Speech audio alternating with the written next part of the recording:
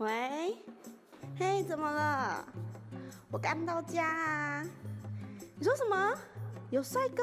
哪一台？哪一台？哪一台？好好好，你等我，等我，我现在去看。很帅吗？超帅的。好，等一下哈。哎哎，我家电视打不开哎。好，我现在来查一下有线电视台的电话号码。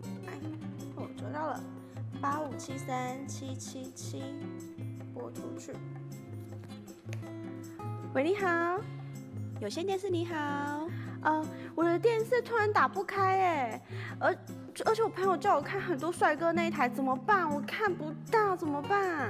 是，麻烦您给我您当初登记的电话号码。啊，电话号码是登记我的吗？还是？是我当初登记的电话是零九零零零零零零零零。当初登记的电话号码是零九零零零零零零零零。地址是在吉安路一段一百三十五号吗？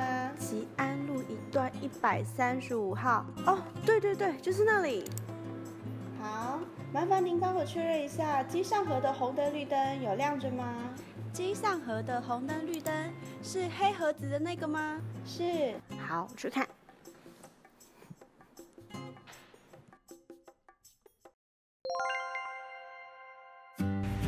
好，以上如果发现电视上面显示无讯号，那我们就先来确认一下机上盒它的红灯、绿灯都有没有亮，跟面板上面的正数字有没有正确。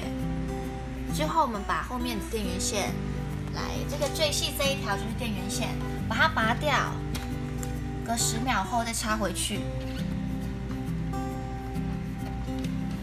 插回去之后，面板会显示 BOT。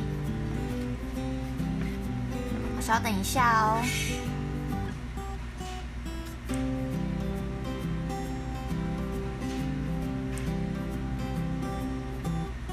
好，啊，现在绿灯也亮了，红绿灯都亮了，跟这个面板上面的数字都正确的话，接着我们拿起我们的遥控器，最上面这一排有一个讯号源的按键，对着机上盒按。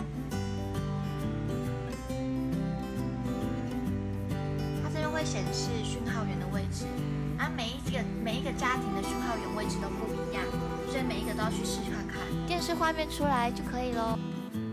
Hello，大家好，以上的机箱和胶水影片大家都看到了吧？不管以后遇到什么问题，我们都先把机箱和后面的电源线拔掉再插回去，然后再确认一下我们的讯号源是否有在正确的讯号源上面。那还有最重要的是。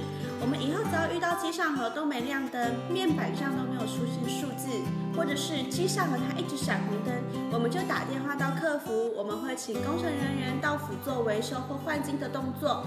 那今天就到这里喽，拜拜。